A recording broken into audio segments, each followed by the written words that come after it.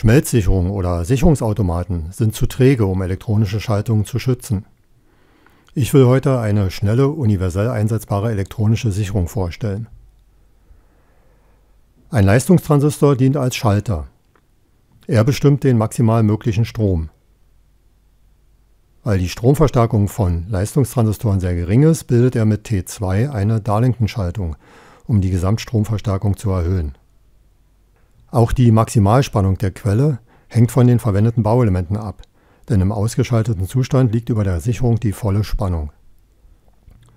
Bei dem von mir gewählten Transistor sind Ströme bis 10 Ampere möglich, bei ausreichender Kühlung natürlich. Über den Widerstand R2 bekommen die Transistoren ihren Basisstrom und steuern durch. Mit der Stromstärke durch den Transistor erhöht sich auch die Spannung über ihm.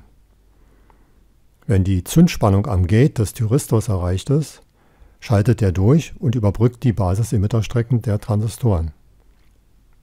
T1 schaltet ab. Durch eine kurze Unterbrechung des Stromkreises wird die Sicherung in den Ausgangszustand zurückgesetzt. R3 soll den Gate-Strom des Thyristors nach dem Auslösen der Sicherung begrenzen. Er muss aber so gewählt werden, dass beim verwendeten Thyristor ein sicheres Durchschalten möglich ist. Mit R2 wird der Auslösestrom der Sicherung eingestellt. R1 und die LED sind für die Funktion nicht wichtig. Die Leuchtdiode soll nur anzeigen, ob die Sicherung ausgelöst hat. Die Größe des Vorwiderstandes hängt von der Spannung ab.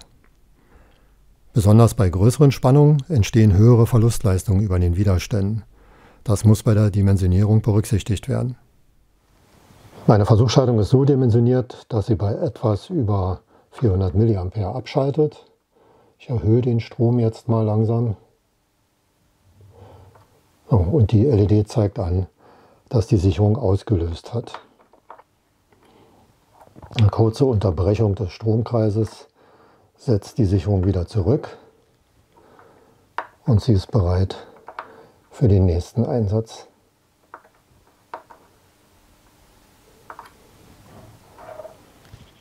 Erweitert man die Schaltung mit einem Brückengleichrichter aus vier Dioden, ist die Sicherung auch für Wechselströme einsetzbar.